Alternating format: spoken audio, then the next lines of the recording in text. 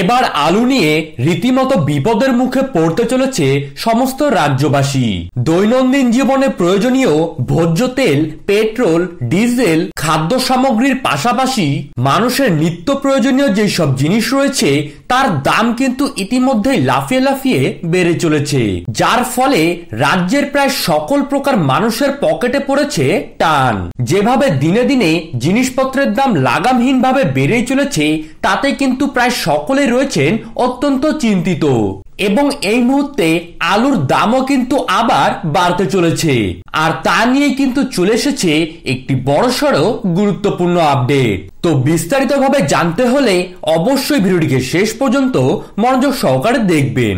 আপনারা কিন্তু সকলেই জানেন, উত্তরবঙ্গে লাগাতার দু সপ্তাহ ধরে বৃষ্টিপাত হয়ে চলেছে এবং এই বৃষ্টিপাতের কারণে উত্তরবঙ্গের প্রায় সমস্ত জায়গাতেই সব ধরনের ফসলে হয়েছে বিশাল ক্ষতি।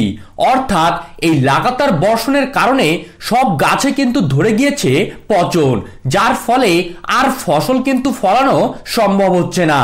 এবং এই সময় উত্তরবঙ্গে কিন্তু সবজির আকাল দেখা দিয়েছে, যার ফলে বাজারে কিন্তু সবজির দাম রয়েছে অত্যন্ত অগ্নিমূল্য। এই বছর প্রাকৃতিক দুর্যোগের কারণে আলুর ফলনে কিন্তু হয়েছে বিশাল ক্ষতি, যার ফলে দেশ তথা রাজ্য জুড়ে কিন্তু আলুর ফলন হয়েছে অনেকটাই কম। ফলন কম থাকায় ইতিমধ্যেই কিন্তু আলুর দাম অনেকটাই বাড়তে শুরু করেছে। কিছুদিন আগে আলুর দাম কিছুটা কমলেও এই মুহূর্তে কিন্তু আলুর দাম দু টাকা কিলো প্রতি বৃদ্ধি পেয়েছে। আর বিশেষজ্ঞরা যা জানিয়েছেন, অন্যান্য সবজির পাশাপাশি এই আলুর দাম কিন্তু আবারও লাফিয়ে লাফিয়ে বাড়তে চলেছে, যার ফলে সকলেই কিন্তু রয়েছেন অত্যন্ত চিন্তিত। যেভাবে মুদ্রাস্ফীতি ঘটছে, তার পাশাপাশি নিত্য প্রয়োজনীয় জিনিসের দাম বেড়ে চলেছে এবং সবজির দামও যদি এই মুহূর্তে বেড়ে যায়, তাহলে কিন্তু মধ্যবিত্ত পরিবারের মানুষের হেসেলে সরাসরিভাবে টান পড়তে চলেছে।